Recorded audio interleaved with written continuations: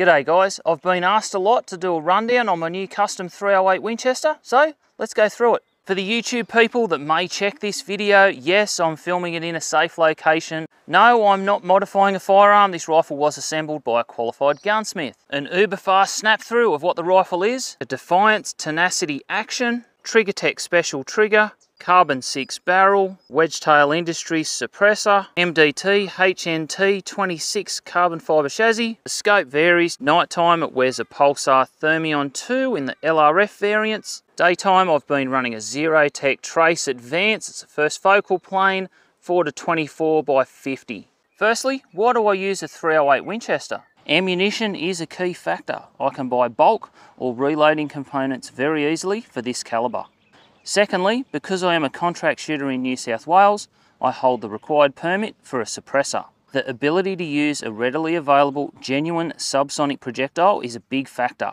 See, a centerfire hunting projectile is designed to expand at a certain speed, say two to three and a half thousand feet per second. Slow that down to subsonic speeds. For more reloads, that's 1,025 feet per second. And that same projectile basically turns into a full metal jacket and zips straight through most animals like a hot skewer. Hence the 30 cal, as I can run a bullet like these Hornady 190 grain sub X projectiles on animals and they are designed to expand somewhat at this slow speed. Yes, I know you can get other subsonic projectiles, but the key is availability and I have lots of these Hornady pills. Thirdly, the 308 Win is generally classed as the correct cartridge by many government and similar groups for the humane destruction of feral pests like pigs. The bare mass of this rifle is 3.3 kilos. That might be a handy baseline for some people as magazines and optics do vary. When it's fitted with my Thermion suppressor and a full 10 round magazine, it comes in at 5.5 kilos.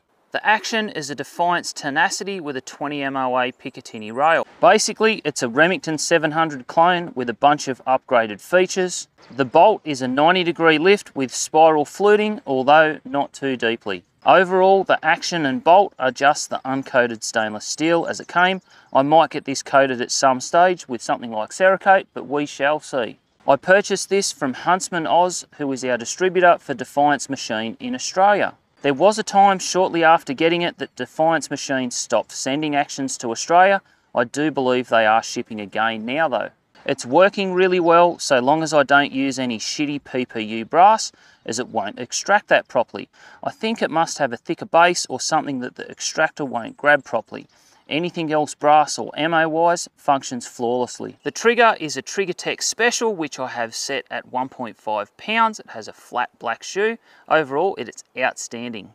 The barrel is made by Carbon 6 in the USA and distributed in Australia by JCPD Arms. It's 18 inches long with a 1 in 10 twist rate. The contour is a Sendero, which I really like, with a nice taper to the muzzle. I will note if I did it again, I'd get a 1 in 8 twist as it would be better with the heavier subsonic pills. My particular barrel was just a blank in which I had a local gunsmith chamber, thread and install into the Defiance action. These barrels definitely shoot very well and something to note is they are very, very easy to clean up after heavy use. That's always a sign of a high quality barrel unlike lesser options that take patch after patch to scrub up clean. This is my second carbon 6 barrel. I have the same profile and 18 inch length on my 6BR. I've found they maintain accuracy very well, even when pumping out rapid rounds through the 308.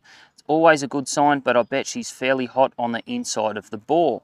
I really like the balance a carbon fibre wrap barrel allows, while still being a very rigid profile without the weight. I find the 18 inch length is a sweet spot between not being too stupid long with a suppressor, yet having a little less bark than a 16 inch 308 Winchester. Small difference, but you can notice it. The suppressor I'm using at the moment is a Wedgetail Industries N300 Ti. It's made from titanium, nice and light, and it works very well for what it is. Does a handy job of reducing recoil and taking the bark out of the short 308 Winchester barrel. I'll often run an Armageddon gear suppressor cover to minimise the heat bloom noticed with a thermal scope.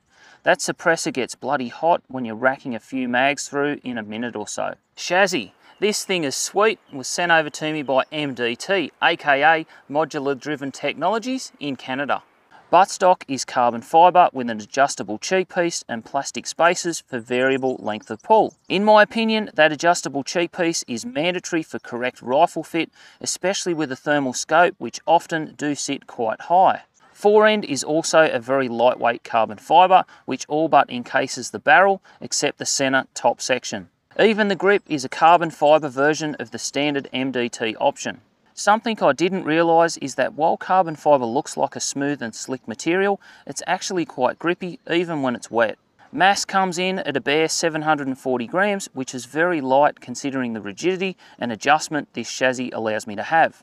I run all this off an MDT 3.3 inch Arca Swiss plate for direct tripod attachment. That's fitted into the M-LOK slots in the bottom of the chassis. I really like these plates and find the larger taper very easy to line up on the tripod ball head, even in complete darkness. Yes, you can get this chassis with a full-length Arca rail moulded into the fore end. That would work really well also, but I've become used to the tapered plate. The sling, I run a Magpul 2-point QD. It's uber fast to install or remove in the flush cups fitted into the side of the chassis. I only fit my sling if required as often it does get in the way if you're vehicle based shooting with rifle racks. The QD aspect is heaps better than the traditional swing swivels to get that sling in and out of the rifle quickly. I generally run these MDT AICS mags. They're a polymer lower and a steel upper. Shaves a little bit of weight while still being a 10 round magazine, the sturdy construction. Scope mounts, that's a point worth covering more on. I have been using these Aussie made Porter Machine Works uni mounts for a few years now. If set up correctly and fitted with a torque wrench, in my experience, they are all but bang on return to zero, enough so that I can swap scopes around with the uttermost confidence required to do what I do professionally. Bipod, I've recently fitted this Spartan Valhalla, and I must say, so far, it's very impressive. Why did I build a bolt action rifle and not something else like a straight pull? While there are many options available to use, I do like the regular bolt style as it allows me within reason to swap chambered rounds quietly from supersonic to subsonic ammunition, something which does regularly occur. Many of the straight pull or lever style rifles generally don't have the larger 10 round magazine options I do when running an MDT chassis and AICS mags. I also like the direct Arca Swiss interface with my tripod, often niggly to achieve without using a clamp on more traditional rifles.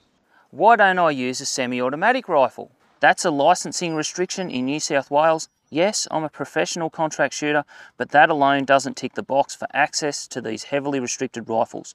One day that may change, but right now, a bolt action it is. I hope that answers a few questions which always pop up in my normal content. Yes, there are many ways which you can build a rifle and I'm very happy with how this one works out. If you did like the video, make sure you give it a thumbs up. Ensure you subscribe to the channel with the bell icon on. I'd appreciate it if you'd like to have a look at my Patreon. I'll see everyone next time.